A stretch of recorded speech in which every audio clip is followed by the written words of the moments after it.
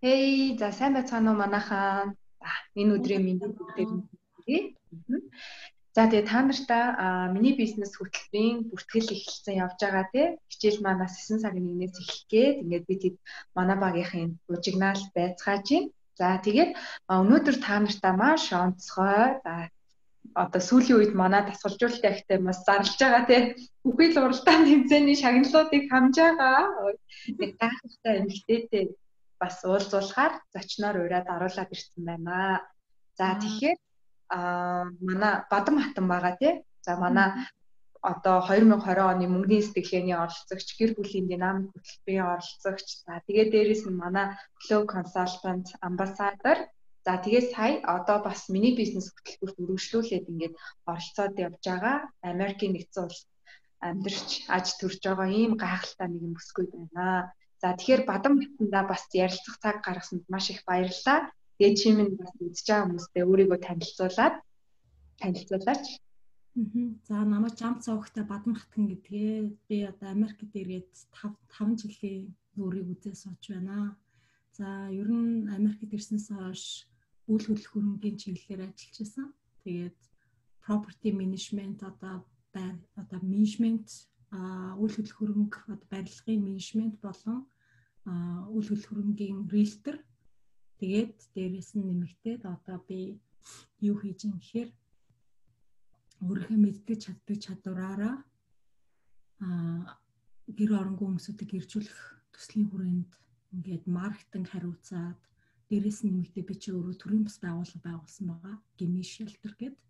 Тэгээ төрийн бас байгууллагынхаа үүсгэн байгуулагч Тэгээд барилгын компанитай хамтарч байгаа CHS гээд тэр барилгын компанийнхаа маркетингийн директор хийгээ явж байна. Мм. Гайхалтай. Ямар олон юм нэг зэрэг зэрэг амжуулж байна те манай бадамата. Ганц би тэгээд ганцаараа байгаа дээр айгүй их юм сурах хэрэгтэй. Америкт хэр хийж байгаа вэ? Манай 5 жил 5 жил болж байгаа. Аа тэгээ бид хэдийн бас нөгөө тэтгэлэгт чи оролцож явах нөгөө нэг Америкт байгаа хүмүүсийг одоо гэр оронгүй хүмүүсийг те орон гэртээ болгохын төсөл дээр ажиллаж байгаа гэдэг танаа нь бол биднэрт аяг таалагдчихсэн. Тэгээ эсен дээр бас манай эсэний тэргүүн байрны шагналыг авсан байгаа штэ манай бадам батн те. Тэгээд нөгөө номонд одоо манка хичээ шинээр бичээд бараг бэлэн болж байгаа номонд нь эсэгээ оруулах гайхалтай тэр одоо шагналын эзэн болсон байгаа. Тэрэнд нас дахин дахин баяр хүргэе. За тэгээд бодлон хатангаас асуумаар байна. Хизэнээс Моника ихчийг мэддэг болсон бэ? Ер нь яаж явж байгаад Моника ихчтэй уулзраад те бас тасгалжуулалт авч исэн мөлөө хоёлаа чинь. Ер нь одоо яг хизэнээс мэддэг болоод тэгээд ингээ явчваа. За тэгээд үргэлжлүүлээ чи яас ярьчих манай хөтөлбөрүүдийн онцлог ер нь юугаараа онцлогтой болоод ид шидтэй болоод тий чи ингээд бүх хөтөлбөрүүдэд нь ингээд амт шаад бүр ингээд донтоод тий улам гялалзаад ингээд яваад байгаа вэ гэдгийг бас үргэлжлүүлээд бид нарт харуулсан. Аа ер нь анх бол сонсчихсан Моника гिचэн талаар тэгээд нэг хэсэг үзчихсэн л та. Тэгээд bunch of people тий ингээл ингэ zoom дээр ингээл групп болол ингээл хоорондоо юм яриад ингээдсэн. Тэгээ хальт мэлт сонсчихсон. Нөгөө тэгэл тэр үед чинь дээгүүр ниссэн л амтан байлаа шүү дээ. Илээл илээл илээл за за гол юм яг юу юм. Bottom line гэл цаг байхгүй гэл ингээл ингээл хавдаг. Хойлогддог гэсэн. Тэгсэн чинь яг ингээд амьдрал гэдэг чинь өөрөө маш гүнзгий юм байна. Тэгээ чин салхи шиг тэгэл явжсэн мөлий. Тэгээд ихэнх одоо залуучууд миний одоо бодлоор салхи шиг дэврэн явж байгаа л хүнтэй суугаал алддаг. Салхи шиг дэврэн явж байгаа л боловсрал гэж имийг гүнзгийрч бас ойлгож мэдлэхгүй мэдлэг боловсралыг зөвхөн ганцхан дипломоор хэмжээд тэ. Тэгээд магадгүй гадаа дотоодоор явсныгаа их юм мэдчихлээ гэж бардамнаад тэгээд алдах тохиолдлууд маш их байна тий тэрний нэг нь одоо би байлаа Тэгээд э, бас дээрэс нь яасан бэ гэхээр одоо шашин гэд энэ юм бол өөрөө бас ингээд тухайн улс орны одоо соёл заншил, тухайн хүний ухамсар айгүйх том үүрэг орол үзүүлж идэг. Тэгээд миний хувьд бол би өөрөө шашин машин тиймд итгэдэг тийм ч айхтар шашинтлаг биш ч гэсэн би бурхан сайн сайхан зүйл байдаг гэдэгт итгэдэг. Гэхдээ бас одоо бас бас одоо онцгүй бас зүйлүүдтэй учирч исэн одоо сүм дээр ч юм уу эсвэл одоо ламп ч юм уу тий эсвэл бөөч ч юм уу За тэгээд э, ер нь хаа газар сайн ч хүн байм уу ч хүн байм. Тэгээд би ерөнхийдөө нэг юм тууширдаг юм л та. Тэгээд э, ерөнхийдөө хүн хүн шиг байх гэдэг юмны ард цаагуур орж одоо хайрцагт орж өөрийгөө хайрцагласнаас илүү хүн өөр өөртөө тулалдаад маск аваад өөр өөрийгөө шууд хилээд өөр өөртөө л ажиллах хэрэгтэй шиг байна. Түүнээс ш нэг одоо сүмний ард ч юм уу нэг аавч ард ч юм уу аавч мянга сайхан хүн байлаа гэдэг өөрийг өөрийг чинь сайн хүн гэж тодорхойлохгүй чи өөрөө тэр сайн хүний өөрөө олж авах хэвээр. Тэгэхээр зэрэг одоо ерөнхийдөө мянга сайхан баян аав ээжтэй байлаа гэд өнөөдөр тэр хүүхэд баян биш л ахгүй. Яг л тэр эцэгхийн олсон мөнгө бол чиний мөнгө шүү дээ. Тэгэхээр хүн ер нь одоо ямар ч бэкграундтэй байсан тэр тухайн хүн зөвхөн тэр юм а өөрөө л олж авдаг юм байна гэдгийг би мартсандаа шингтэл ойлгосон. Тэгээ одоо нөгөө нэг үг гарцсан билээ шүү дээ фэйсбүүкээр яваад байгаа. Аа юу идээд турдаг юу лээ суугаад юу сурахгүйгээр ухаа ухаа мэрэгэн ухаантай болдог нэг тийм юм гарцсан байсан. Тэгээ би тэрнийг үзчихээд энийг төрчихсэн л та. Ерөнхийдөө одоогийн нөгөө нэг нийгэмд хүмүүс ингээд амарчилдаг болсон байна тий шорткат одоо бизнес дээр хүртэлтэй өөрийгөө олоогүй мөртлөө шууд хаа хамаагүй дэшээ хараад явдаг тий Тэгээд тэрнээсээ болоод одоо хонч шиг одоо хонч нь өөрөө метрийн цаатыг л хардаг гэж аахгүй өсрээд л метрийн цаа. Тэгээд би одоо метр хардаг хонь байлаа гэж бодоход дугуй дугуйгаа олдог энэ хорвоод дахиад нэг хонтой учрна. Тэгээ нөө хонноос нь дахиад нэг хон төрнө. Тэгээд гэр бүл гэдэг юм чинь өөрөө утгаа алдаад ингэ явж байгаа. Тий асрах одоо хоньны салтууд их шүү дээ.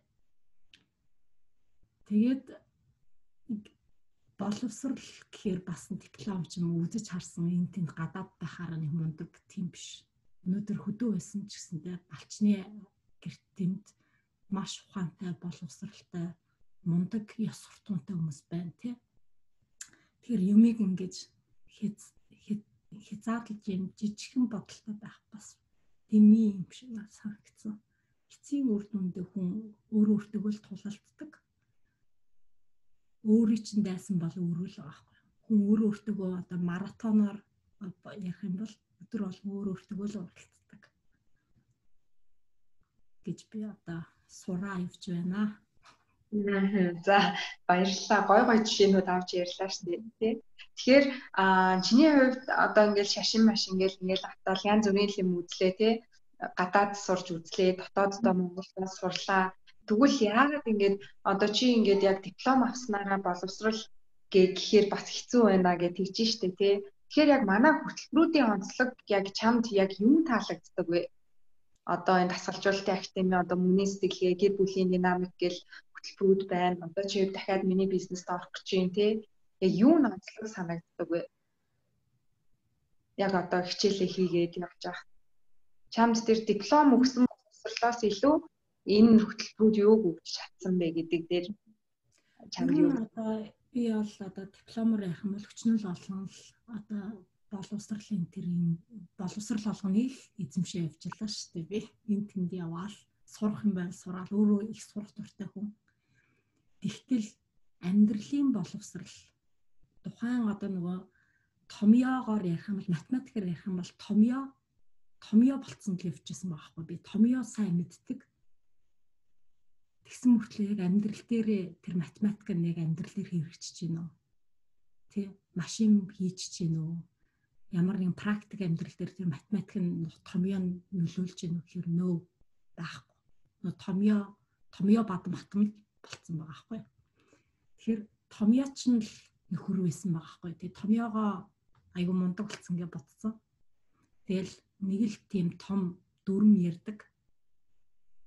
Тэгтэл тэр томьёо маань яг амьдрал дээр практик дээр ингээ гарч ирэхгүй ингээ удаа хүн өөрөө төмөр болчдөг юм шиг санагдсан. Ингээ хөгшөөд ингээ мөс шиг болчдөг энэ тарих гэдэг юм чинь задрахгүй. Тэгээд ирэхээр хайрцан дотор орчдөг юм шиг санагдсан. Тэгээ хаашаа яахаа мэдгээ болоо бүр сүүлэр үгээ те. Оо энэс өр гарцгүй юм байна гэдэг тийм дүгнэлтэнд хүрээд тэгээд яах вэ гэхээр эцсийн үр дүндээ өөрөө өөрийгөө олохоо байгаад өрөөл бусдад итгэдээд дэлхийн загтал толгоор нэг юм ортын бидлээ орсон. Энэ олон жил сурсан том юм энэ юу болваа амьдралт минь.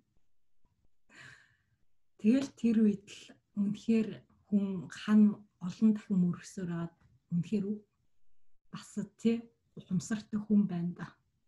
Өөрлөгөө өндөж хардсан бэлээ.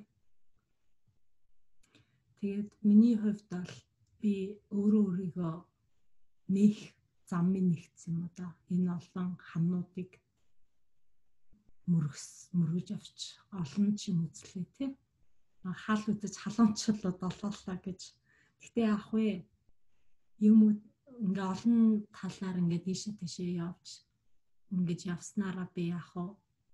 суусан цэцнээс явсан тэнгэн дээр гэж би одоо явсан тэнгэн тулчил яваад байна л та. Юм юм үтссэн, юунаас ч айдаггүй, галнаас ч айдаггүй, галт руу ч орлоо, ус руу ч орлоо. Тэгээд ер нь эрсдлээс айдаггүй л гэх юм уу да би. Жохон нэг тийм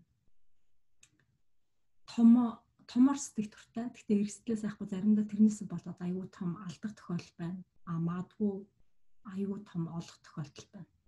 Тэгэхээр нөгөө тухайн үеийн аз мэднэ гэж. Гэхдээ би азанд итгэж одоо явхаа болсон. Тэгвэл надад алдсан юм байна, олсон юм байна. Гэтэл одоо бол ер нь ингээд мэдлэгээ практик дээр хэрэгжүүлээд ингээд шингэн гэдэг чинь өөр асар том юм байна л та. Тэгээ өчтөрхөн би дүүтэйгээ ярьжсэн англиас манай дүү маань ярьсан тэгээ аа ном их уншдаг болж байна сүүл үед. Уншсан ном минь цус руу орчин яс мах руу орчин гэдэгхгүй юу. Үг өгүүлбэр болгоно. Яасан ч гүнзгий ухаан гүнзгий юмтэй урд нь илгээл гардаг байсан байна. Тэгээ манай дүү их ном уншихтаа гол нь биш. Тэр үг нь зүрхэнд чинь орж, цуснд чинь шингэрч, ясанд чинь мэдрэгдэх үед л тэр чинь жинхэнэ ухаан болж хувирж байгаа гэдэг. Маа дүү надад хэлжсэн. Яг үнэн гэд. Тэгээд миний би өөрчлөгдсөнээр манай гэр бүлийн харилцаа өөрчлөгдсөн, дүүтэйгээ харилцаа харилцаа минь өөрчлөгдсөн. Ах дүүс хамаатан садан минь бас өөрчлөгдөж байна, тий. Тэгээ гайхалтай өөрчлөлтүүд гарч ирж байна. Ер нь ер нь өөрөө л өөрчлөгдөх хэрэгтэй. Хүнийг өөрчлөх гэж хамаг цагаа амьдралаа үржижсэнийг би маш их ойлгосон. Гой гайхалтай. Чиний яриаг бүр сонсоод уяршсан бүр асуух асуултаа мартсан сууж. Үнэн заавал ялдаг. Хизээ нэгэн цагт заавал ялдаг. Өнөөдөр би үнтэй машин унж гин үү, үнтэй байранд амьдарч гин үү, үнтэй ганган күчи мүчин зүүж гин үү. Тэр надад нэг том асуудал биш. Өнөөдөр би тийм ах мөнгө байсан ч би авахгүй Ягвал идээ дуугаа баагаад зэврээ дуусахын цагт бүгд л адилхан. Өнөөдөр хүн өөрөө хүртэл зэвэрдэг хорвоо штэ. Хүний үнэт зүйл бол хүний ухаан, хүний мөн чанар. Тэгээд хүн өөрөө өөрийгөө олсон цагт хүний төлөө амьдардаг юм байна. Хумсрын дээдийг ойлгох юм байна. Би гэдэг үзэл биш, бид үзэл рүү ордог юм байна гэдгийг би Моника ихчээс айгүй харсан. Та нараас их суралцсан. Аавсаа суралцсан. Тэгээд өөрийн эрен торнаагийн гайхалтай бас хамт ажиллаж байгаа нь гайхалтай захирлаасаа олон сайхан хүмүүсүүдээс суралцсаад явж байна. Ер нь өөрийгөө л айгүйх анализ хийдэг болчт юм билээ. Ер нь үгээ маш цэндэг Тэгээд ер нь ярихаас илүү сонсох гэдэг чинь өөрөө маш том ухаан. Тэгээд энийг л явдаг болчтой юм билээ. Яагаад ч юм. Ер нь өөр дээрээ л төвлөрч өөрөө өөрийгөө л хөгжүүлэх юм. Эргээд нөгөө нэг орчин тойрныхаа чинь нөлөөлнө гэдэг одоо өөрчлөгдөд ирж байгаа гэдгийг чи мэдэрчээд явж штэ одоо за тэгвэл хоёлаа миний бизнес рүүгээ жоохон яриагаа оруулаад ахъя заяа. Өөрхөн комментууд ирээлээ. Төмөр атар сансарт ягч ингэж чинь үнэхээр ухаалаг дайчин бүсгүй шүү. Хүн эцээ өөртөөгөө л өрсөлддөг. Өөр бусдад найдах бол хий хоосон зүйл гэж сайхан хэллээ. Амжилт хүсье л гэж юм.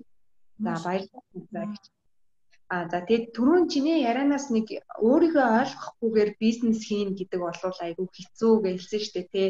Би бас энийг айгүйх анзаардаг байхгүй. Яг ингээд хурдан баяжих арга ч юм уу тий. Нэг одоо ингээд нэг хурдан мөнгөтэй болох арга суралцах ч юм уу. Ингээд тэгээ зөв мөнгөний хойноос явж бизнес хийх аль эсвэл яг ингээд одоо өөрийгөө ойлгоод өөрийнхөө үн цэнийг мэдрээд тий.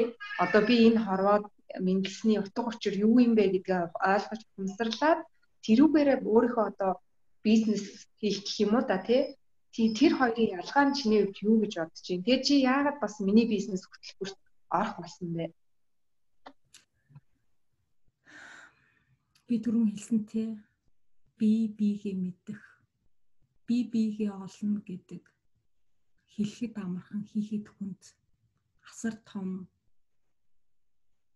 олон шаналл олон зүтгүүр олон төмрүүдийг хамнуудыг тулж иж магадгүй ойлгох. Энэ мэрэгэн ухаан бас тийм хямдхан олдохгүй. Хайр гээл хүмүүс ярьдаг те. Хөдөлмөр жинхэнэ хөдөлмөр хайрыг олно гэдэг бол хөдөлмөр ухааныг олно гэдэг бол хөдөлмөр тэгээ хин дуртаад нь тэр хайр ирэхгүй хөдөлмөр ирэхгүй. Миний үндсэн хэлэх гээд байгаа зүйл бол бизнес гэдэг бол өөрөө бүхэл бүтэн том ёс суртахууны хим химжээ хүн болж төрсний ухамсарын дэд төвшин гэж би бодож байгаа. Тэгэхээр хүн зөвхөн өөрийгөө те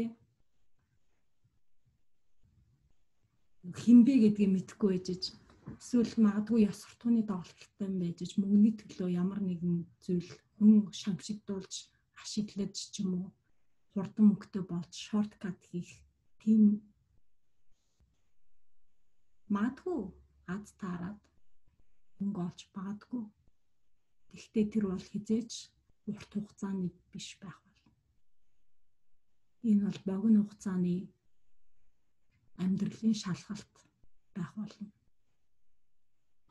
гэж би бодож байна. Тэгээд хүний амьдрал үргэлж шалгалтын дээр байдаг юм шиг санагддаг надад. Өдөр болгон бид тест шалгалт өгч байна. Энэ шалгалт унсан хүн хизээж а хизээч сайн сайхан тэр гайхалтай зүйлийг мэдэрч чадахгүй түүнийг таньж мэднэ гэдэг бол маш том ухаан. Тэгээ түрүүн би хэлсэнтэй томьёог бол хүн болгон мэддэхэд амархан. Өнөөдөр би хэдэн цаг суугаад өнөөдөр би физикийн химийн томьёог магадгүй би нэмж хасаад үржүүлээд хуваагаад хүчил төрөгч 02-ыг те 0 юу хүчил төрөгч O2-ыг би үржүүлээд ингээд химийн уралд CT нүүрс хүчлийн хийтэй үржүүлэхээр CO2 гэдэг ингээд гарч чинь тийм нүүрс хүчлийн хий гарч чинь тийм энийг би ингээд сураад явбал мэдгэл ахгүй юу. Томьёо бол сурахад хинч сурна. Тэгтэл тэр томьёог амьдрал дээр дадлаг болгож хэрэгжүүлээд ямарваа нэгэн тэр одоо магадгүй коронавирусын тэр вирусыг гаргах яах вакциныг хийх тийм тухайн эн чин жинхэнэ практик байна тий. Тэгтэл одоо томьёо бизнес дээр ч гэсэндээ яг л одоо адилхан өөрөө өөрийгөө олно гэдэг чинь аюу том зүйл. Хүнийг дагаж салбарнууд самгчин болж жүжиглэх одоо болох хэрэгтэй л гэж би байна. Би өнөөдөр самгчин бол намаа битэд ураагаар та магадгүй нохооч иж магадгүй муухч иж магадгүй тий хулганч иж магадгүй тэгэхээр би энийгээ дахаас илүү бизнесээ энэ энэ надаас илүү болчих юм энэ надаас дээгүр ч юм уу гэж хүмүүс аюу хардаг. Тэгээ үртгийж өрсөлдөхөөс илүү өөр өөрийгөө жинхэнэ харах хэрэгтэй. Өөрийнх нь толгоон дээр орой дээр байгаа тэмээгээ харцгаа. Хүний толгой дээрхөө үсийг харахаа болоо. Энэ өөр өөртөөгөө ажиллаад өөр өөргөө нээсэн цагт таны тэр нөгөө хүсэж байгаа тэр бизнес санаа чи өөрөө орж ирдэг юм аа. Та чадвараа мэдсэн нөхцөл тэр цаад мөнгө төрөг таны тэр их хүсэж байгаа бүх юм чинь орж ирдэг. Тэгээд мөнгөний төлөө бизнес хийдэггүй гэдгийг би аягуулсан маш сайн ойлгосон. Өнөөдөр мөнгөтэй хүмүүс аз жаргалтай байна уу гэвэл үгүй. Мөнгө хүнд аз жаргал өгдөг үгүй. Энэ бол зүгээр л хэрэглээ. Аа гэхдээ та ухамсарын төвшөнд хөгжөөд тэр бизнесийг хийгээд бусдын төлөө тэр гайхалтай зүйлийг хийх тэр амьдралын ухаанаа олсон цагт тэр ухамсарын төвшөнд хүрээд purpose одоо зам мөрөө олсон цагт тэр чинь таны жинхэнэ мэрэгчл таны чадвар, таны амьдралдаа хэрэгжүүлэх тэр ухаан тэгээд тэр чинь хүний төлөө ингээ явхад өөрийнх нь дуртай зүйлээ хийгээ явхад хүн өнөөдөр унттгуулахгүй юу? Нойр хүрхгүй. Гар араасаа нөгөө онгод гэж гайхалтай юм орж ирээд бичмээр байна, уншмаар байна, хиймээр байна, бүтээмээр байна. Тэр бүтээл сэтгэл нь маш хөгжөөд тэгээ мөнгө чинь өөрөө орж ирдэг байхгүй юу тэр чинь. Тэгэхээр бид нар мөнгөний төлөө биш өөрийнх нь төлөө өөрийгөө хинбэ гэдгийг мэдэх нь хамгийн чухал гэж би бодож байна. Тэрэн дээр чинь бизнес дөрүүлдэг юм шиг санагдсан. Тэгээ бас нэг юм хэлэхэд миний зүрх сэтгэлийн хамгийн их зовоод нэг зүйл болохоор мянга сайхан бизнес байлаа амжилттай авчин мөнгө олчин тэгтэл эхнэрээ араар нь тавьдаг ар хударгаар нь нарийн бичгтэйгээ явуулдаг дүүрсгэгч нар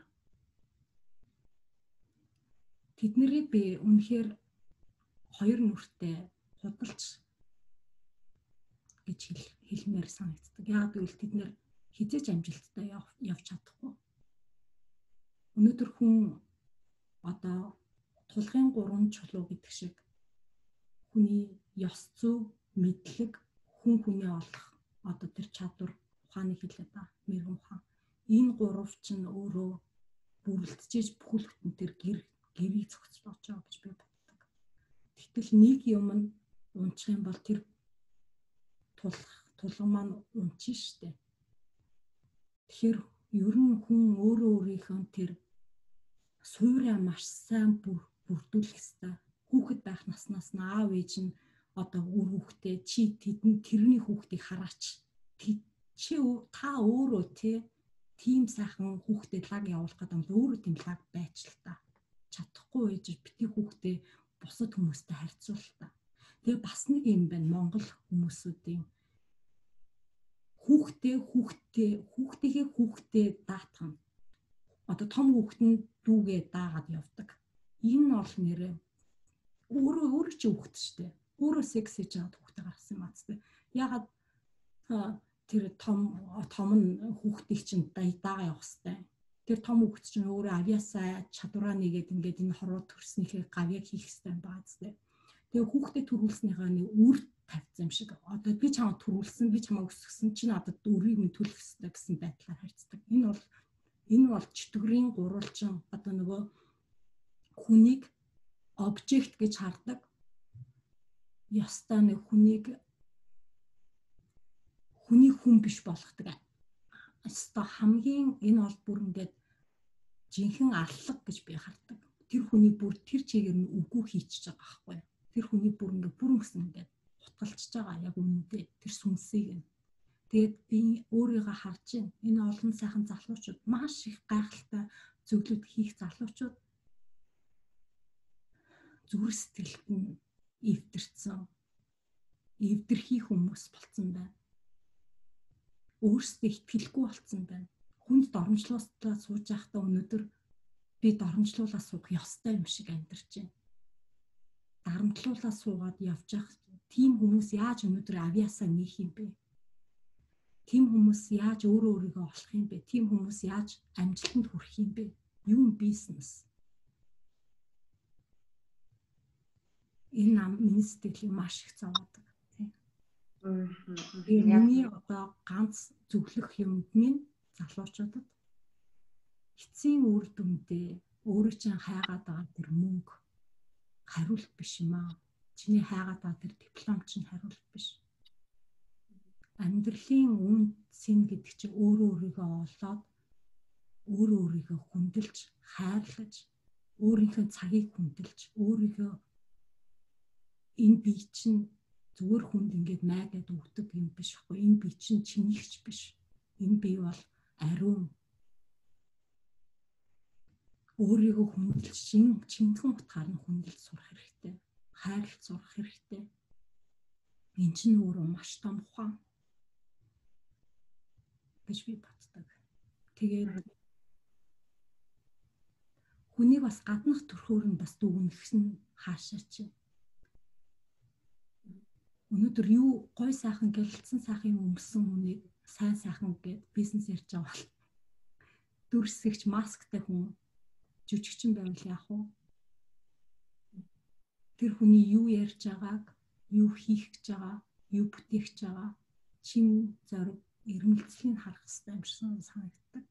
Хэлбэрт хөөгдөхөө болох хэрэгтэй юм шиг санагддаг. Тэр хүний байгаа байдлаас нь тэр хүний өнцгөөс нь харах хэрэгтэй юм шиг санагддаг. Тэр хүний сайн сонсож сурмаар юм санагддаг. Энэ бол бизнесийн хамгийн анхны алхам гэж би бодож байна. Яг үнэ. Энэ дээр зөндөө олон комментууд ирж байна. Бас маш ойлгомжтой практиктэй амьдралд ойр жишээ авч ярьж байгаад баярлалаа. Тийм шүү гэж энэ чимгээ жоохон удаан ярьж байна уу үгүй юу гинэ солонгосоко. Яг хоо жоохон удаж байна. Ярьчихсан би хоёр уучлаарай жоохон удаан ярьж байгаа л тий. За тэгээд бадам матныхаа ярьж байгаа дээр хөтөлбөрийнхөө талаар жоохон бас яг чиний ярьсан дээр дөрүүлээд би нэг мэдээлэл өгөх юм.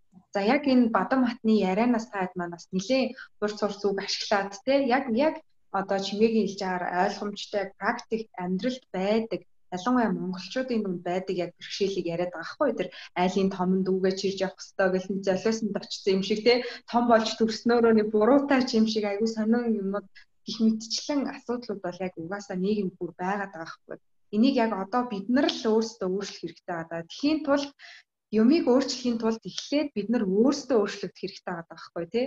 Тэгэхээр бидний хөтөлбөрийн зорилго бол ерөөсөө л яг тэр хувь хүн өөрийгөө ойлгох тэгээд нөө бие зас, гэрээ зас, төрөө зас гэж байдаг. За миний бизнес хөтөлбөрийн хувьд бол яг төрөө зас төвшний хөтөлбөр. За энэ дээр бол яг эхний хоёр модуль дээр бол яг манай Бадам хатны хэлж байгаагаар чи өөрөө хийн юм бэ? Миний амьдрал diamond гэдэг ихний модуль байдаг баггүй юу? Тэн дээр дахиад л өөрийгөө ухна. Чи хийн юм бэ? Чи хаанаас ирсэн юм бэ? Чи ер нь яг чиний энэ passion гэж аявих ярьдаг те юу хийх гэдэг чи багтаа юунд баярлдаг байсан? Юу хүсч мөрөөддөг байсан? Тэр чинь яа одоо чи яагаад зориггүй болцсон нэг юм хийх гэхээр чи яагаад хийж чадхаа болцсон ч юм уу те ингээд бүх юмаа ухаад тэр өөртөө далд ухамсарт чинь шингэсэн байгаа тэр янз бүрийн юмнуудаа гаргаад өөрийгөө айгүй гой чөлөөлчдөг эхний хоёр модуль дээр. За тэгээд өөрийнхөө онцлог юу юм би натуралны ямар авиас чадвартай юм би аль чиглэлээ бариад явбал илүү амжилтанд хүрэхин гэдэг юмнуудаа хоёрдугаар модуль дээрээ үзээд гурваасаа яадаг уу гэхээр яг нөгөө бизнесийн одоо хичээлүүд нь ороод эхэлдэг баггүй юу. Тэгэхээр яг бадам матны ярьж байгаа дээр эхлээд өөрийгөө ойлгоод авчвал дараа нь тэр бизнес гэж ярихад чи ганцхан мөнгөний төлөө биш илүү үн цэнтэй үн цэнтэй зүйлийг бүтээхийн тулд юм уу те хүн болгон чи ямар нэг одоо утга учиртай л энэ хорвоод мэдлсэн байгаа штэ өөр өөрийнхөө хэмжээнд тодорхой нэг юм хийж бүтээхийн тулд мэдлсэн байгаа. Тэгэхээр яг чиний энэ хорвоод ирсний утга учир зорилго чи юу юм бэ? Чи юу хийж бүтээх ёстой юм бэ? Магадгүй чи өнгөрсөндөө туулсан тэр бэрхшээлүүдээсээ хуж гаргаж ирж байгаад бусад хүмүүст тийм зүйлийг бий болохгүй тулд чи юм хийгээд амьдрах ёстой мөн чин одоо бид нар чи өчнөө олон жил биш энийг үзээ сууж байгаа ялангуяа залуучууд энэ хөтөлбөрт цаг алдахгүй орж ирээрэй гэж би хэлмээр байгаа байхгүй. Би бас өөрөө өмнө энэ хөтөлбөрт оролцоод үзсэн хүний хувьд ингээд өөрчлөлтийг өөр дээрээ гаргаад мэдрээд явж байгаа хүний хувьд ялангуяа залуучуудаас бити цаг алдаач 40-төө 50-таа дэ 60-таа хүмүүс орж ирээд би чинь ингээд өдөө олон жил яаж амьдраад ирсэн юм бэ? Би чинь ямар тэнэг байсан юм бэ гэд уйлаад те яадаг лээ бадам хатанч байгаа бид нар өөрсдөө байгаа. Тэгэхээр бид нарт одоо 30-таа байлаа, 20-таа байлаа гэхэд цаана 40, 50, 60 жил байгаа хгүй юу? Тэр цаг хугацаагаа илүү гоё үр бүтээлтэй, үнцэнтэй утга учиртай юмны төлөө амьдрах арга замаа эндээс олоод аваач. магадгүй ингээд 2 3 сургууль төгсөө зөндөө одоо боловсрал диплом авсан байж болно. Харин түрүүний бас манай хүний хэлдгээр тэр олон дипломнуудынхаа утга учирыг чи яаж зөв гаргах юм бэ гэдэг арга ухаанаа эндээс бас ойлгоод аваач гэдгийг яг одоо үзэж байгаа хүмүүстэй бас одоо үзэж байгаа хүмүүс маань хэрэгтэй хүмүүст бас энэ бичлэгийг хүргээд өгөөрэй. Тэгээ манай хөтөлбөрүүд ерөөсөө жилд ганц ганцхан удаа болдог учраас хоцорч ерөөсөө болохгүй та хэд нь ороод ирээ гэж дахин дахин хэлмээр байна. За тэгээд Бадам хатанда бас саяны хэлсэн асуултаа дахиад Монголын залуучууд те ялангуяа чи өөрөө Монголд төрж өсөөд Монгол гэр бүлд байгаад те Монголын нийгэмд амьдарч байгаад ингээд гадагшаа гарсан байгаа штэ. Тэгэхээр чиний ажиглагдсан хамгийн одоо Монголын залуучуудын анхааруулж хэлмээр ч юм уу те тэр зүйл нь юу байсан бэ? Одоо чи Монголын залуучууд гээд зориг гэл ингээр гадагшаа нэг тэтгэлгээр юм сурах. Тэгээ сураа чи яг яах юм гэхээр тэгэл нэг гайгүй цалинтай ажил олоод хийндээ.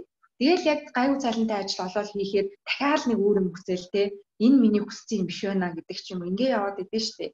Тэгэхээр миний өнцгөөс бол яг энэ нь бүр том цаад яг чиний өөрийгөө ойлгоогүй учраас яг л нэг чиний хилээд байгаа тэр хон шиг бусад хүмүүсийг дагаал за амьдрал ийм л байна. Сургуулаа төгсөөл нэг ажил олно, нэг гэр бүлтэй болно. За өстой нэг секси гээд хүүхэдтэй болно. За тэгээд ингээд явна гэдэг биднэрт надад ч гэсэн яг л тийм байсан байгаа байхгүй юу.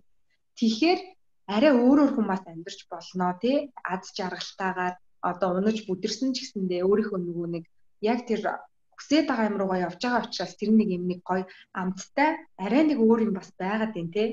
Тэгэхээр яг энэ дээр Монголын залуучуудад яг нийтлэг ямар асуудал байгаа чамд харагдсан бэ? Тэгэд энийг манай хөтөлбөрөөс олж авч чадах уу гэдэг дээр чи бас нэг өөрийнхөө үзэл бодлыг хэлээч. Ер нь ийм л байгаа юм л да. Одоо өөрөө чинь хэлдэг нөх хонь. Одоо би ч гэсэн хонь хэлсэн л та. Гэхдээ хонь гэдгийг тань гэд таньжин гэдэг чинь өөрөө айгүй том ухаан. Тэгээ хамгийн том зүйл болохоор юу вэ гэхээр бид нар дургу зүйлээ хийдэг яг үл бид нар зориг учраас. Тэгээд сая энэ сэтгэл зүйчтэй энэ номыг уншижсэн чинь ягаад хүн ийм их депресстэй ийм их ингэ зовиуртай амьдртгийг би ачаа нуруунд дээр өвөрцсөн биш. Амар хүнд ингэ зовиуртай амьдртгийг би гэд тэрэн дээр асуулт чинь асуултанд хариулсан байна л да сэтгэл зүйч нар шинжлэх ухааны үүднээс тэгсэн чи яасан бэ гэсэн чинь маш хэм амархнаар хэлсэн байна. Зорилгогүй хүмүүс депрессэнд ордог гинэ. Тэгэхээр зориггүй хүмүүс ад жаргалгүй байдаг гэсэн. Зориггүй хүний цаг үн цэнэгүй. Тэгэхээр хин гооч хамаагүй чи хүрээдэр чи миний төлөвлөгөөнд орцсон. Чи миний имийг хий. Чи үнгүй штэ. Чи хямдхан штэ. Чи чиний над цаг чинь чамд хамаагүй юм чинь би чамайг ашиглая. Хүнд үгүй гэж хэлж чадахгүй ашиглуулаад явна. Яг л хон шиг. Энэ амьдралаас гарах хэрэгтэй. Би нөгөө эсийн дээр бичсэн байдаг шүү дээ. Хөмөрсөн тоогоон доторх амьдрал шиг. Энэ уулнаас цааш гуулгүй, энэ газраас цааш голгүй, усгүй. Ийм нөхцөл байдалд хэдэн 10 жил амьдарсан залуучууд бид нар эцэг ихэнд тийгэж өсгсөн тийм орчинд бид нар хүн болж төлөвшөөд томроод ингэ төлөвшүүлтэй бид нар өөрөө өөрсдөө таньж мэдхгүй. Тэгээд нэг хүүхдтэй жирэмсэн болонгуудаа өө би одоо энэтэй амьдрах хэвээр манай аавч хоёр ингээд амьдрсан юм чинь. Зодтолцсон ч гэсэн за гоё штэ задуулаад ухаачаад задуулах тусам ухаачдаг гэсэн гээд альсэл нөгөө хүчирхийллийг өө энэ хүчирхийлэл хүчирхийлэл бол зүгээр нормал штэ бие биентэйг ягсарч харьцдаг тий Тэгээ тэр бол зүгээр л энгийн харилцаа болсон. Дэлгүүрт орлоо агс нь тавьж байгаа юм шиг харцдаг тийм. Энэ болгон чинь өөрөө тэр тухайн хүний илэрхийлээд ямар орчинд ямар хүн болж төрж төлөвшсөн хэлж байгаа. Тэгээ би энэ тархины тухай ном уншиж байгаа байхгүй. Тэгтэл хүний тарих гэдэг чинь өөрөө хүн ихийн хэвлээд 4 4 7 хоногоос 5 7 хоногоос эхлээд тарих тарих хөгжиж эхэлдэг. Тэгэхээр хүний тарих ихэн хэрвээ ууртай уцаартай аав ээж нь эхнэр нөхөр нь ингээд зодтолдог ч юм уу хэрэлддэг ч юм уу ямар ч communication skill байхгүй харилцах чадваргүй тийм хүмүүс чинь хүүхэд нь хүртэл ингээд төрснийхэн дараа уур хуцаалтаа яах гээд байгаа мэддэггүй зан хаа. Тэгэд энэ бол бүхэл бүтэн том боловсрал аахгүй. өөр өөрийгөө олоогүй юм чинь юу хүүхдээ ч ойлгохгүй те за тэг хүүхдээ гаргах чаад яхаа мэдгүй за тэгээ дургүй юм аа айгүй хийдэг юм санагдаад байхгүй маа залуучууд дургүй ажиллаа хийн дургүй хүнтэйгээ хамт амьдрна. Дургүй газартаа амьдрна. Дургүй орон нутагт сууршин дургүй аа хоолоо идэн дургүй хувцас өмснө. Яа тэгвэл хүнд гоё харагдахын тулд. Өнөөдөр таны үс ихсээсэн байсан ч гоё л ахгүй. Өөрт чинь гоё юм л. Өнөөдөр нүд амаа улаан цэнхрээр будалтаа яа болохгүй гэж танд таалагдчихвал өнөөдөр хүнд таалагдахын тулд бизнес хийж, хүнд таалагдахын тулд ажил хийж, мөнгө мөнгөний төлөө ажиллаж байна. Мөнгөний төлөө баян хүнтэй сууж байна. Аа бичиг баримтны төлөө хүнтэй сууж байна тий. Энэ Орос зөндөл олон хүн найз нар хүүхнүүд байсан бүгдээр ингээл маш их зовоол тэрнээс тэгэд хүн ингэдэм байна. Нэг зовлон ингээд үүсчихээр дараа нэг алдаа ингээд том буруу шийдвэр гаргачаад дараа дараагийнх нь автоматар ингээд буруу болоо явчихдаг. Тэгээ нөгөөдхөө ингээд засгаад байтал 10 жил өнгөрчин 20 жил тэгээ депресс орчин. Тэгээ бүх юмыг негатив ингээд хараар хардаг болчихдог. За наадам учинчтай мөн дурак гэл гэл юм болгоно гэж итгэхгүй яг тийм ингээд нэг чөтгөрийн нэг тойрогт орцсон юм шиг санагдаад байгаа байхгүй. Бид нэр өөрсдөө энэ болгоныг бий болгоод байгаа. Түүнээс улс төр том гарууд тгээгүй. Бид нэр өөрсдөө яа гэж байгаа нөхдүүд байна тий. Бид нэр өөрсдөө өөрсдийнхээ асуудлаа шийдчих. Та өөр өөрийнхөө өөрийнхөө асуудлыг шийдчих. Тэгэхээр ч юм чи нийгэмч арай өөр болоод эхэлэх байхгүй. Тэгээд ичих булчирхаа байдаг бол жижиглэж байгаа хүмүүсд маска угаасаа аав штэ. Бүгд айтайхан бол явчих юм бол та тэгээд ууралсныхын хариуд нь уурлах шаардлага байхгүй. Энийгээд болгосон байвал нөгөө хүн чинь хариуд нь юм хэлж чадахгүй ч дараа нь өөрөө гэртээ арай бодно ш. Энэ хөр тавар шиг эхэлчихв те. Ер нь маш их зүйлийг ер нь тунгаадаг ер нь хүний оюун нөгөө нэг одоо юу гэдэг вэ? conscious mind, self conscious mind а тэр даалт хүмсэр тий. Хүмсэрт. Үний яг үнэн байдаг байхгүй. Яг хүн болгон хайрыг хүсдэг, үннийг хүсдэг. Хүн болгон өөр өөртөө хаалхыг хүсдэг. Гэхдээ тэрнийг илэрхийлж мэдгүй адал бүх асуудал байгаа гэж би бодож байна. Яг хайртай гэж хэлчихэд хайртай гэдгийг хэлж чаддгүй. Хэн хүүхдтэй хайртай гэж хэлж чаддгүй. Нөхөр нь эхнэрийнхээ эхнэртэй хайртай гэж хэлж чаддгүй. Хэлхээсээ ичдэг. Тэгсэн мөртлөө би нэг хуурахтай ичдэггүй. Ямар хогийн амьдрал вэ? Бол болох л хэрэгтэй юм бол худлаа юмнаас ичдэг мөртлөө үний юмнаас хичээд байдаг.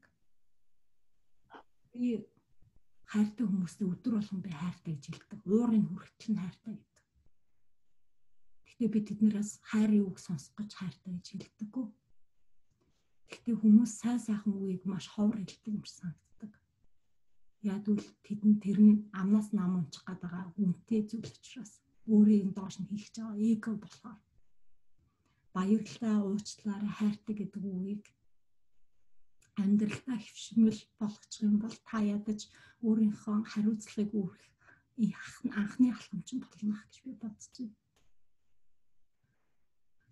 хариуцлагагүй учраас бие дааж чадахгүй байна. Хариуцлагагүй учраас баярлалаа гэж хайртай гэж нь хэлж чадахгүй маск зөөж хүнтэй суудаг, маск зөөж бизнес хийдэг учраас өнөөдөр бид нар ядуу байна.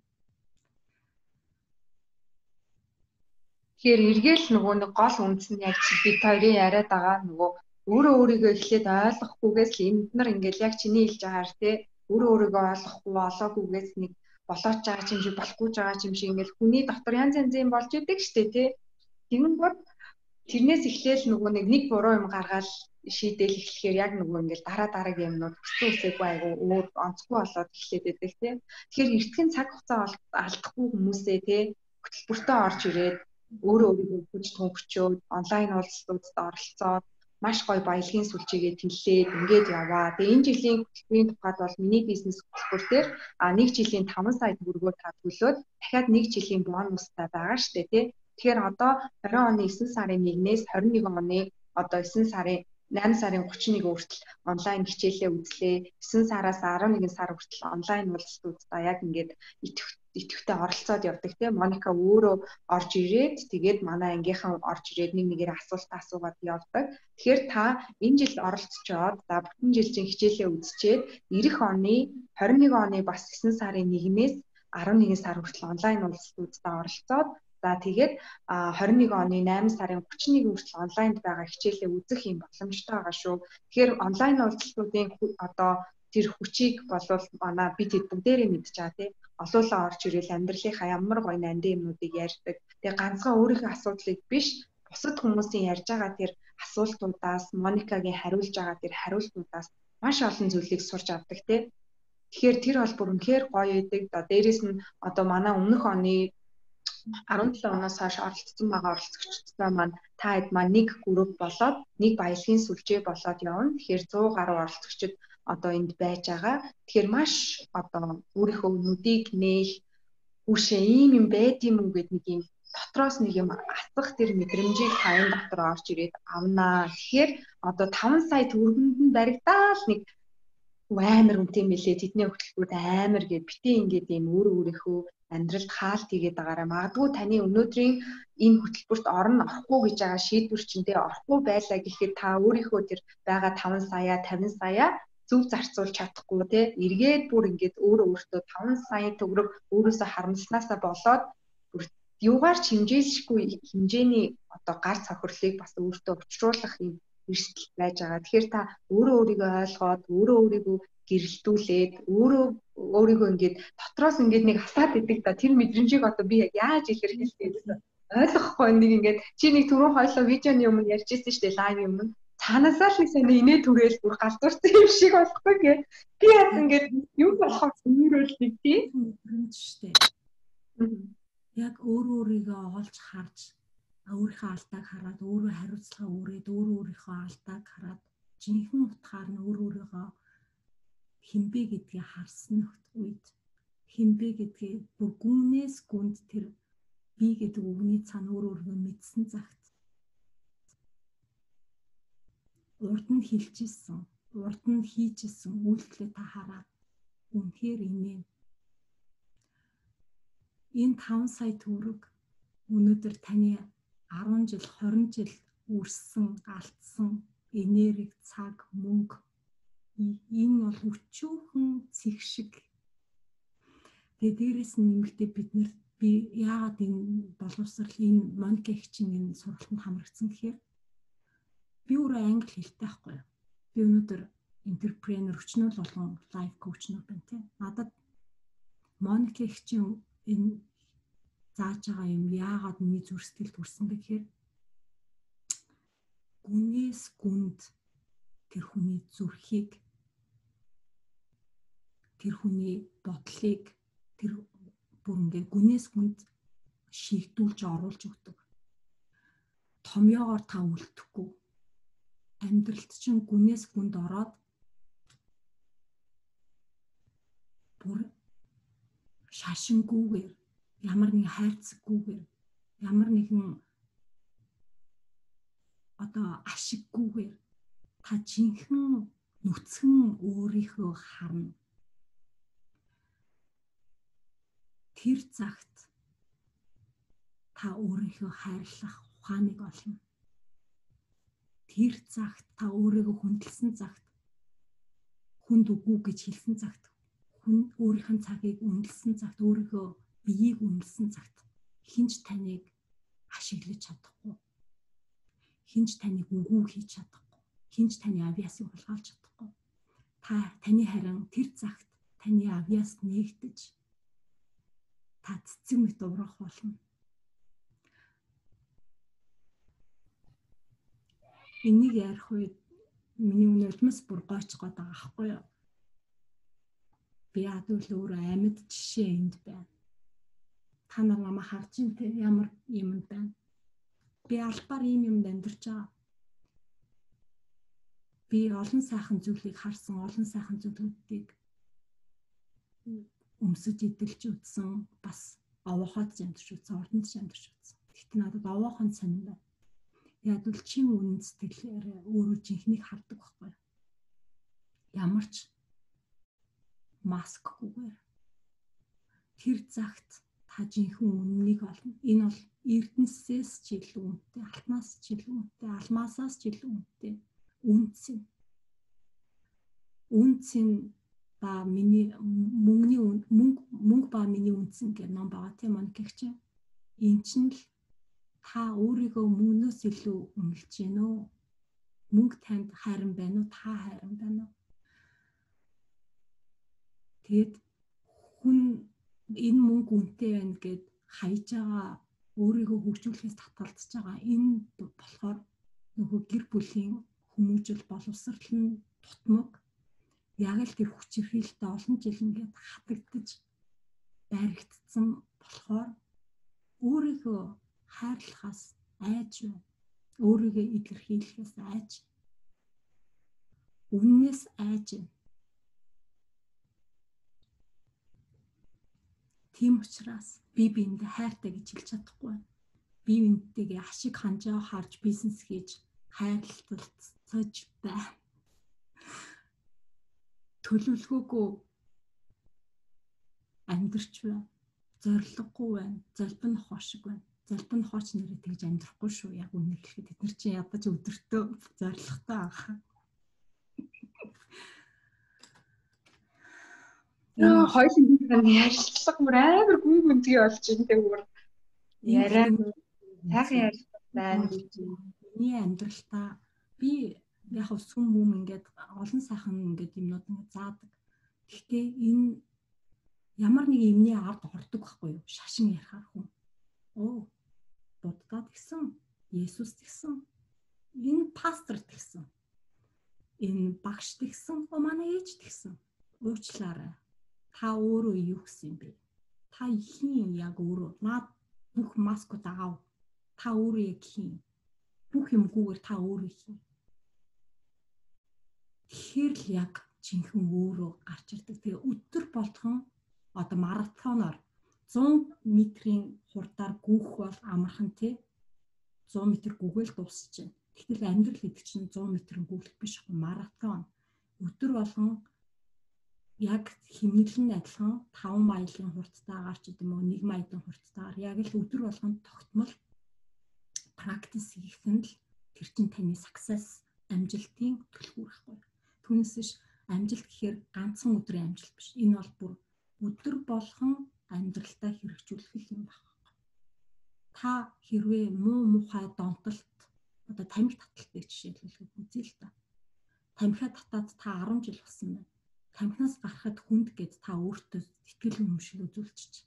Тэгтэл тамхинаас гарах оруулсан тэр ихтгэл өмшил тэр сүрэ тэр үүс үрээ ол тэгвэл та хин нэгэнд хэлж чадахгүй үгээ илэрхийлж чадахгүй учраас та тамхитаж байгаа.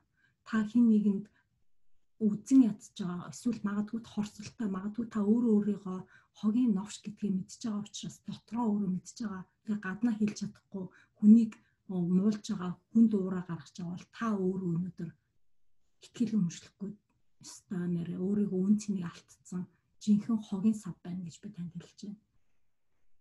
Тэр загт та өөрийгөө үнэлэх загт тэр олон жил өөрийнхөө эрүүл мэндээ алдсан тэр мөнгөө алдсан танхинд үрсэн тэр донтолтой та хог гэж би ийм гэж юу би ийм хин гэж юу үгүй шүү дээ.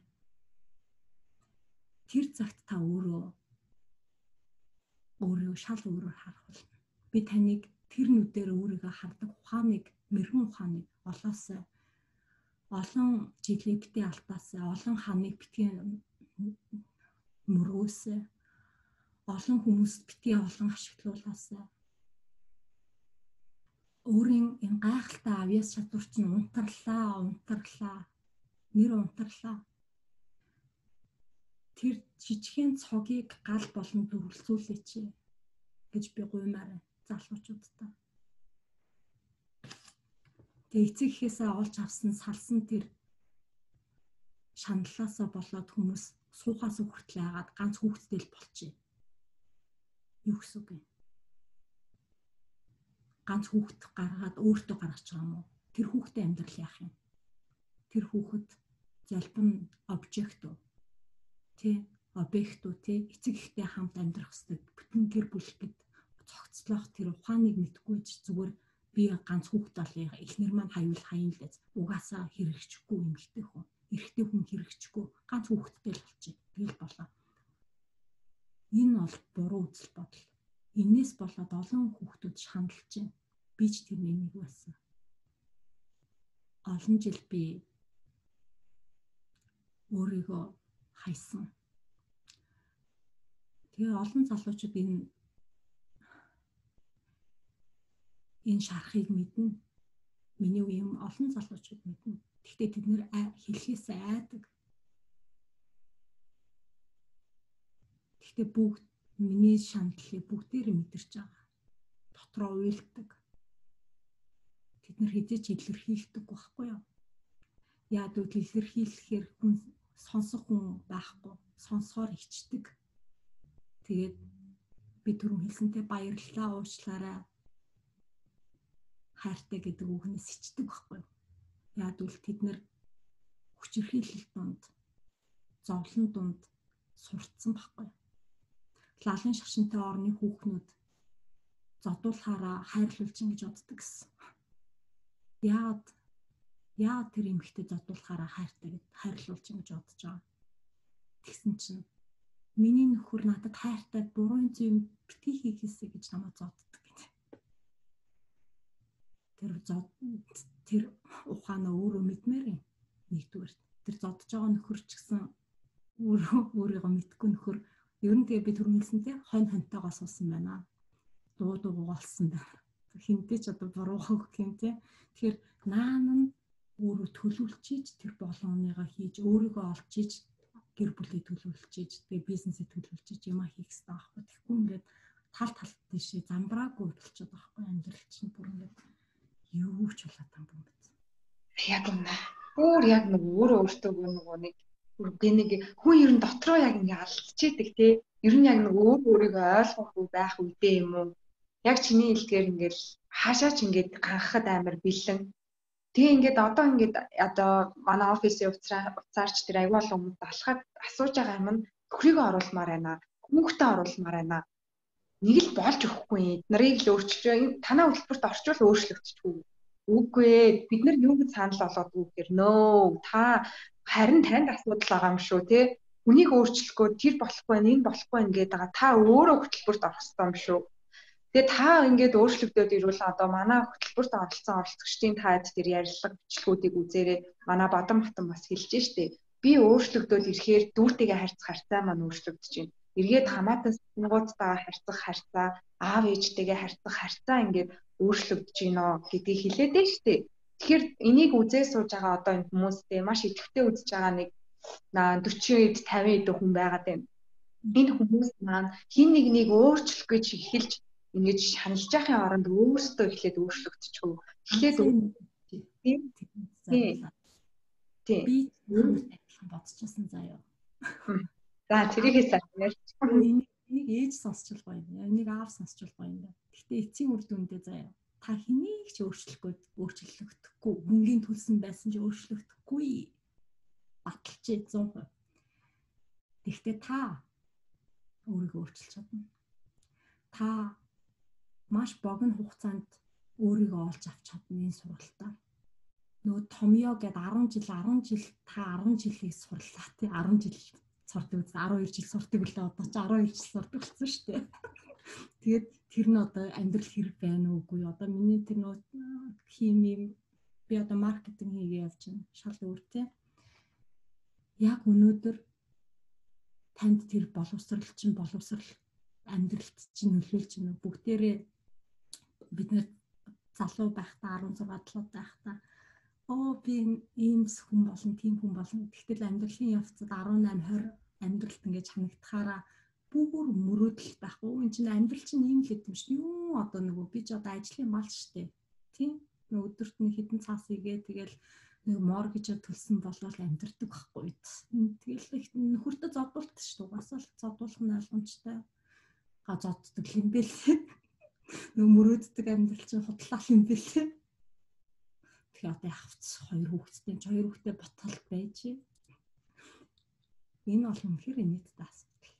Тэгээ та байдлаа улам хурцдахыг гэж бодож байгаа бол энэ амьдралаараа амьдр хийнж таныг албатаж бид нар ч өөрчилж чадахгүй. Гэхдээ би өөрийгөө хуваалцаж чадчихна. Би өөрийгөө ялсан хүн. Би бардам билж. Хиний ч өмнө би гараад би өөрийгөө ялсан хүн гэдэгт хэлэхэд надад ам бардам итгэлтэй инээдэр дүүрэн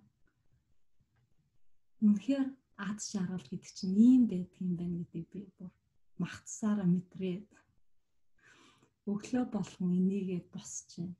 Энэ бол мөнгөөр үнэлшгүй. Мөнгөөр та энэ гайхалтай эрдмийг худалдаж авахгүй шүү гэдгийг би танд хэлье. Яг бол мөнгөөр авч болдог юм байна, авч чаддгүй юм байна. Та мөнгөгүй ч гэсэн бизнес хийж болно өөрөө өөрийгөө олцсон нөхцөлд.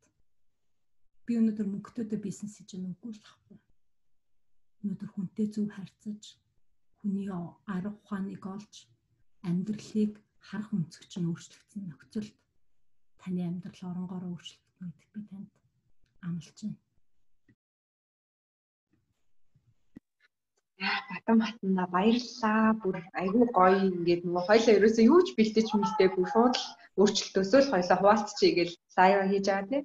Тэгээ маш их баярлалаа. Хоёлаа бараг цаг ярьсан байна. Тэгээ наа чин бүр шүн олж байгаа уучлаарай. Тэгээд шууд хоёлогоос нэг лайв хийя гэд бадан батангаа оруулаад ирсэн. Тэгээд маш юм сургамжтай, баархаар эргээд ингээд юмыг бодохоор айгүй хүн гүнзгий яриа боллоо гэж хоёлынх нь бодож байна. Тэгээд эндээс бас олон зүйлийг хэрэгтэй хүмүүс нь ойлгоод аваарай. Тэгээд сургалтанд хөтөлбөртөө одоо энэ жил бүртгүүлэхгүй үлдчихвэл дараа жил гээд бүтэн нэг жил алднаа. Зүгээр одоо бүртгүүлээд ороод ирээ гэж хэлмээр байна. За тэгээ дээрээс манай баялагын сүлжээнд нэгдээд цаашдаа ингээд дасгалжуулалтын академийн ивэнтүүдэд хүртэл үн төлбөргүй ороод явдаг тий.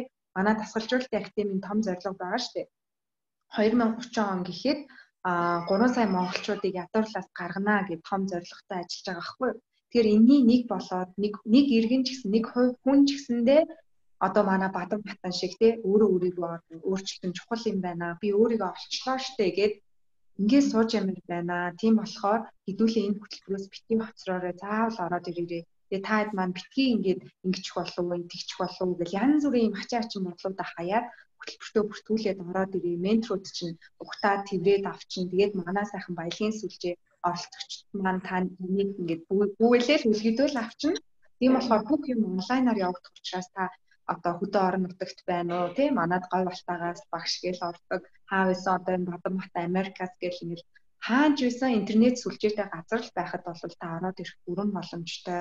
Тэгээ цаг завын хувьд бол бүтэн сайн өдөр болгон л яг 9 сарын 1-ээс 11 сар хүртэл хугацааны бүтэн сайн өдрийн орой Монголын цагаар 18 цагт яг нэг Моникатай манай оролцогчд маань онлайн уулзалтаар одоо ярилцлага хийдэг байгаа. Яг өөр өөрсдийнхөө асуудлуудаа хэлээд Моникагаас зөвлөгөө авдаг. Тэрнээс бусад үед бол та өөрийнхөө боломжтой цагаар хичээлээ онлайнаар ороод үзчих бүрэн боломжтой учраас тийм зүйлээр битгий санаа зовоорой. Тэгээ дөнгөж төрсөн хүүг жоохон байна. Би яах вүлээ гээл те битгий тийм юмд санаа зовоо. Би ч гэсэн түрүү жил дөнгөж төрчөөл декреттэй байх хугацаанд л хөтөлбөртөө хамрагдал хүн үнэхээр орж ирээд энэ хөтөлбөрөөр хөтөлбөрийн амттыг мэдэрчүүл тэр хүүхдтэй байна уу, зөндөө их ажилтай байна уу, хүнд хүсэл байвал дав гаргаад өөртөө цаг зориулж чаддаг юм аа. Тийм болохоор хөтөлбөртөө бүртгүүлээд ороод ирээ. Одоо ерөөсө хэдхэн хоног үлдсэн байна?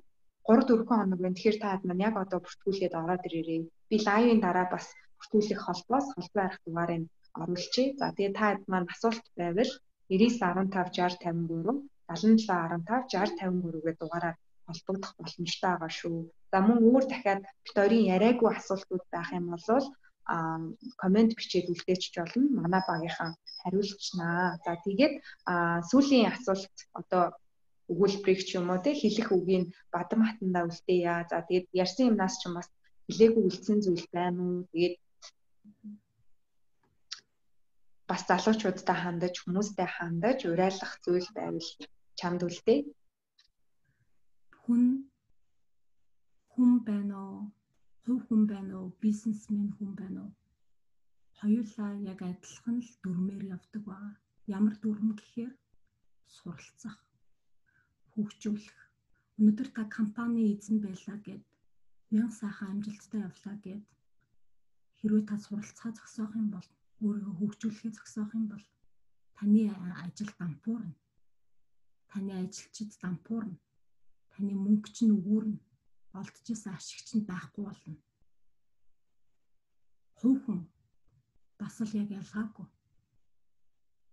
Хувь хүний хөгжлөө алдсан цагт тэрнийхээ хурцлахгүй бол олсон боловсрлоо улам хурцлж нарийн наривчил судалж өөрийгөө хөгжүүлэхгүй бол нэг юм дээрээ төвлөрч фокус хийж улам өөрийгөө гэлтгнуулж хөгжүүлэхгүй бол тэр загт тэр загт та өөрөө хөгжүүлэхээ болсон тэр цагаас эхлээд таны уналт эхлэн бол эхлэх болно гэдгийг би танд хувь хүн байтугай компани захирал компани болон улс улс орон нийтийг би бүхэлдэн тэр чигээр бүгднгээр нь хэлжээ.